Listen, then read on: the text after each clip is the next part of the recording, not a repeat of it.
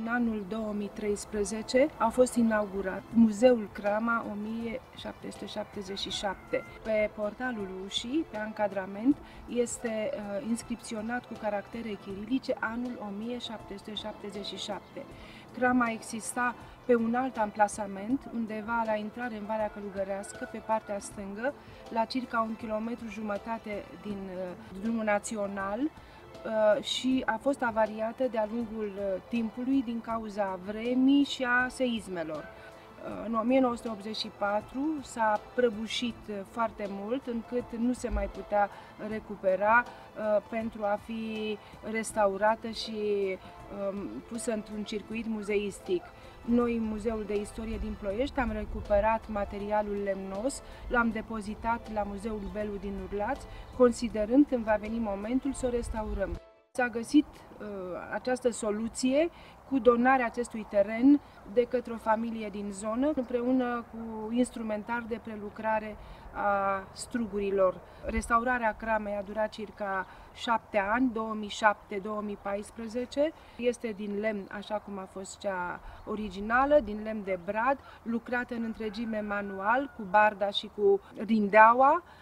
Cuiele sunt din lemn, îmbinarea este în coadă de rândunică, tradiția îmbinării lemnului de-a lungul timpului în arealul uh, românesc și uh, încercarea de punere în valoare așa cum a existat uh, fosta cramă în 1777, respectând dimensiunile, designul în general și încercând să punem și o pardoseală.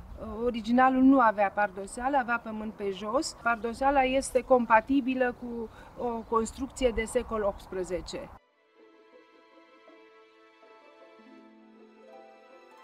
În prima sală, prima încăpere din uh, Muzeul Crama 1777, se găsesc uh, um, unelte, obiecte, numai uh, din zona Valea Călugărească, uh, unele foarte originale, cum este uh, linul uh, din lemn, dintr-un singur trunchi de stejar, lucrat manual, de la sfârșit de secol XIX, început de secol 20. Uh, avem butoaie sau budane, cum se numeau atunci, un uh, teasc, de asemenea, din lemn, folosit uh, la început de secol 20 pentru torsul strugurilor și transformarea lor în must și un zdrobitor dăruit de familia care a donat și terenul, comandat în Austria în 1925. Se mai găsesc pompe de pucioasă aduse din import, pompe de transportat vinul dintr-un recipient plin într-unul gol de la sfârșit de secol XIX și început de secol 20, toate sunt originale.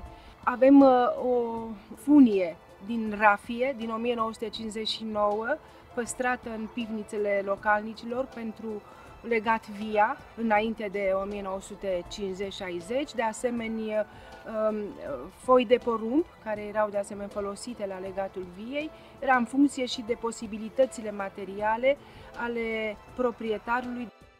Procesul acesta de transformare a strugurilor în vin este foarte elaborat în zonă, în sensul că durează puțin mai mult până se decantează după ce îl pui la uh, fermentat și apoi transportat în alt recipient pentru a se uh, limpezi.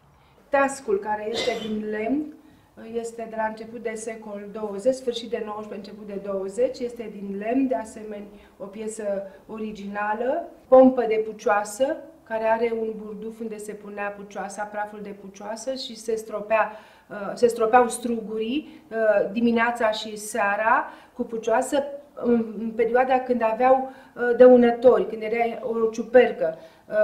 Era cu scopul dat ca să stopeze evoluția ciupercii, ca să nu contamineze toată via cu această ciupercă. Și un mic atelier de dogărie Uh, astfel încât toate uneltele necesare prelucrării doagelor pentru butoaie uh, sunt expuse în muzeul nostru. Avem o vinote- mică vinotecă, o expoziție cu cele mai alese vinuri din zona de alumare. De alumare se întinde de la Seciu, Voldescăieni, Bucov, Valea Călugărească, Ceptura, Tohani, uh, până la Buzău, inclusiv Pietroasa. Este zona cu cele mai importante soiuri de viță de vie și toate aceste vinuri pe care le vedeți în vinoteca noastră au obținut medalii.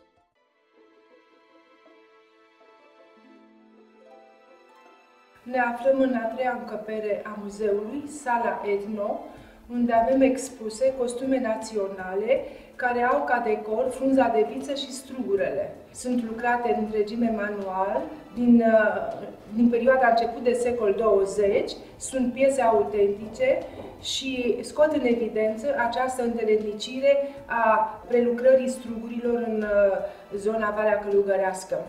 Uh, de asemenea, avem o icoană cu Isus Hristos cu vița de vie. Avem o roche superbă din, uh, lucrată în întregime manual, uh, cu frunza de viță și strugurele, Uh, și cu paiete din aur pe platcă. Este o piesă reprezentativă, unicat. Uh, la această roche se pare că a lucrat câțiva ani uh, doamna respectivă. Marama este din mătase de borangic de aproape 3 metri. Un covor din anul 1896, adus probabil cu scop comercial în zona aceasta a Munteniei, lucrat manual, colorat cu substanțe vegetale și reprezintă uh, pe margine uh, un decor cu frunza de viță și strugurele. De asemenea, costume naționale de pe Valea Prahovei și Valea Teleajănului, uh, tot cu frunza de viță și strugurele, sunt piese deosebit de importante. Toate aceste costume naționale au ca decor frunza de viță și strugurele. Sunt piese autentice, lucrate manual.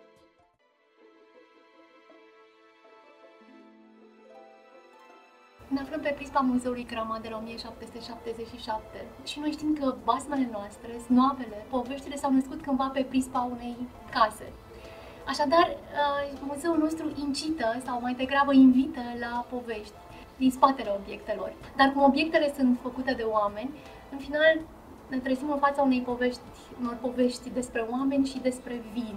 Dincolo de faptul că vinul a fost perceput ca o băutură care conferă statut și ostentație, în uh, memoria colectivă până astăzi, vinul a fost perceput și este ca apa vie care alungă starea mohorâtă a omului. Și așa este. Vinul este un organism viu.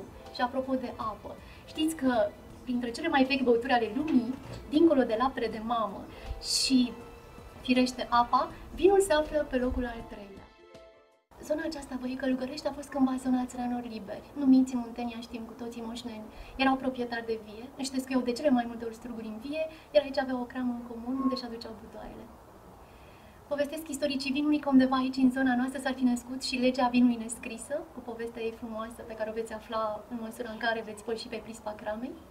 Dincolo de povestea vinului nescrisă, aș vrea să vă atrag atenția asupra acestui chenar dublu de dinți de lup sau dinți de fierăstrău. La prima vedere pare un, că ar avea un rol estetic, dar nu este așa. Rolul lui era unul de apărare. România a făcut cândva parte dintr-o străveche civilizație a lemnului și a lutului, în care știm că nu se cresta în lemn și nici se modela în pasta vasului aleatoriu. Scopul era de împlânzirea spațiului. Cum gândea țăranul român?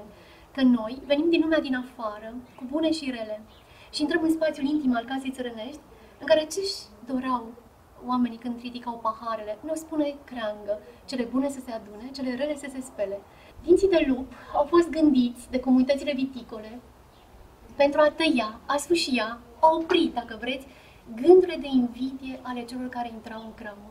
Observați care erau emoțiile viticultorilor, nu faptul că vii să le furi vinul, pentru că ușa era oricum imbatabilă, ci în momentul în care invidiezi, invidia este o energie vie, vinul este o materie vie, vinul se strică.